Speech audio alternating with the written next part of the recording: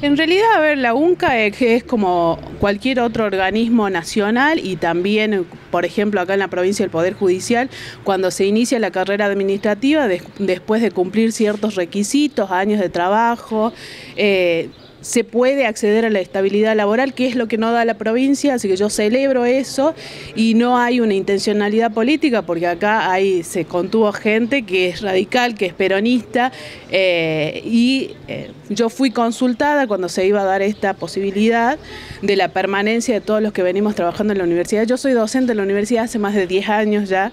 tengo mi antigüedad eh, y la verdad, además mi trabajo, mi centro de trabajo siempre fue la UNCA. Eh, y yo creo que lo que hay que celebrar justamente es que haya organismos que den eh, que no siguen con los contratos basura, sino que eh, tienen una carrera administrativa, se inicia con becas, con contratos de obra. Yo en la UNCA inicié trabajando como coordinadora académica de la Facultad de Derecho hace muchos años, con un contrato de obra. Eh, inicié mi carrera docente también con una dedicación simple, con el sueldo que teníamos, es más, el sueldo actual de un docente universitario es de 15 mil pesos.